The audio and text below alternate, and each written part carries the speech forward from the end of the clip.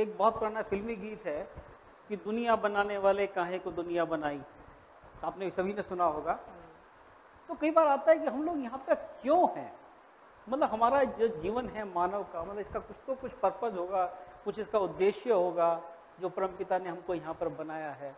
नहीं तो क्यों उसने इतनी दुनिया बनाई? हमारा क्या उद्देश्य है इसका? ये चीज़ें जनरल क्या होता है कि आती है माइंड में आती रहती है तो ऐसे ही बैठा हुआ तो ये सब चीज़ दिमाग में आई नहीं नहीं ये बिल्कुल तो सभी लोगों के दिमाग में आती होगी मतलब नहीं क्या ज़रूरत है कि हम लोग ज़िंदा होते यहाँ पे? नहीं होते तो कैसा था? ये आप देख लीजिए ये बहुत महत्वपूर्ण प्रश्न है। इसलिए मैं कहता हूँ आपने अच्छा किया ये प्रश्न उठाया। मानव आप पूरी सृष्टि को देखिए जितने को आप जानते हैं बाहर से। केवल मानव मात्र ही ऐसा प्राणी है जिसको कर्म और विचार की स्वतंत्रता है। और किसी में नहीं है ये। हाँ। तो वो बस फिर दास मल्लू का कह गए सबके दाता राम तो वो दाता ही बने रहेंगे। लेकिन अगर आप उसको इस तरह से देखें कि खाली आपको स्वतंत्रता है विचार की स्वतंत्रता है कर्म की स्वतंत्रता है जो आप चाहें चुन सकते हैं इसका मतलब आपका क्रिएटर जिसको आप कह रहे हैं इतना बेवकूफ़ तो नहीं रहा होगा कि खाली आपको सोने के लिए खाने के लिए और डेफिकेट करने के लिए बनाया है। There must have been some purpose कुछ तो पर्पज रहेगा। तो वो इस तरह से आप ये एक अपॉर्चुनिटी है। आपके पास जैसे जो चीज़ें परमात्मा के पास है परमात्मा को हम क्या बोलते हैं? कहते हैं वो परम स्वतंत्र है। वो कहता है आपके पास भी फ्री विल है। जो मेरे पास है आपको भी दी। और बोलो क्या चाहिए? कहता है मैं पूरी जगह फैला हूँ आप भी फैलो।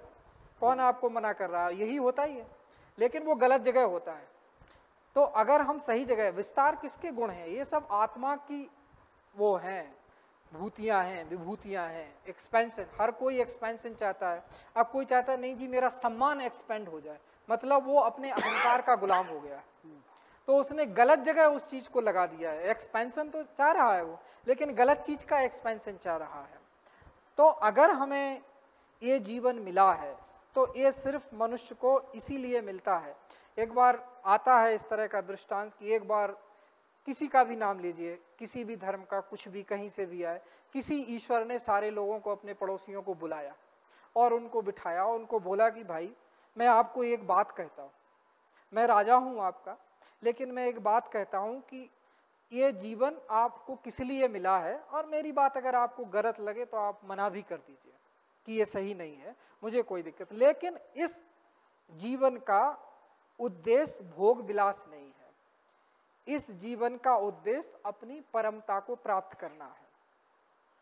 तो उसको जो ईश्वर है, जो उसके सारी ये विभूतियाँ हैं एक्सपेंशन जो गलत जगह लग रही हैं, आप प्रसिद्धि बढ़ाना चाहते हो, आप मान सम्मान बढ़ाना चाहते हो, आप लोभ लालच बढ़ाना चाहते हो, बढ़ाना चाहिए आत्मा।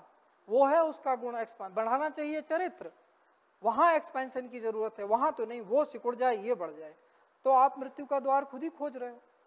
तो वहाँ पे ये जो जीवन हमें मिला है, वो परमात्मा से हम भूल गए हैं, सहज स्मृति योग इसीलिए है कि हम उसको भूल गए हैं, कि हम ही वही हैं, हम में और उसमें कोई अंतर नहीं है।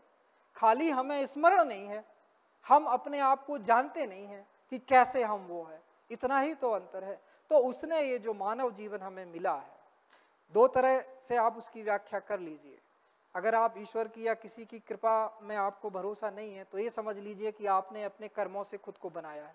नहीं तो आप जो थे, सो थे उसके साथ। कुछ आपने अच्छा किया कि आपको मनुष्य शरीर मिला, कुछ आपने बुरा किया कि आपको बहुत सारी चीज़ें भोगनी पड़ रही हैं, यात्रा। आपको याद नहीं आ रहा है कि आप कौन हो। तो उसने ये अवसर दिया है कि आप अपनी ऐश्वर्य को पाएँ। जो आप हैं, आप उसको पा पाएँ। ये इस जीवन का लक्ष्य है। जो आपकी परम संभावना है, जो आप ईश्वर हो, हम कहते हैं कि मेरे सामने इतने सारे ईश्वर ही बैठे हुए हैं। कोई और थोड़ी बैठा हुआ है। और सबसे जागृत अवस्था में बैठे हुए हैं। क्योंकि बाकी और अगर आप योनियाँ देखिए तो इतनी जागृत तो नहीं है वो।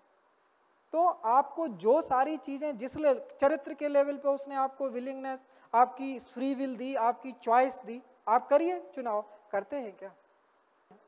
तो जो उसके पास है उसने सारा आपको दे रखा है। देन उसका लक्ष्य है कि आप इस समय का सदुपयोग करके पहुँच जाइए जहाँ आपको पहुँचना है। आप भी मैं ही हो। तत्वम असी। कई कई भाषाओं में उसको कहा गया है कि जो मैं हूँ वही तू भी है, है?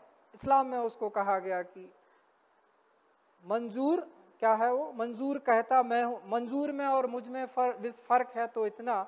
वो कहता मैं हूँ मैं हूँ मैं कहता तू है तू है। They are referring to the same कोई अलग अलग को नहीं रेफर कर रहे हैं क्योंकि सब में तो वही है। तो ये इस जीवन का लक्ष्य है कि हम अपनी पूर्णता को पाएँ और उसमें चरित्र एक बहुत बड़ी भूमिका निभाता है। जहाँ हम लोभ लालच रख देते हैं, जहाँ हमें रखना चाहिए धर्म।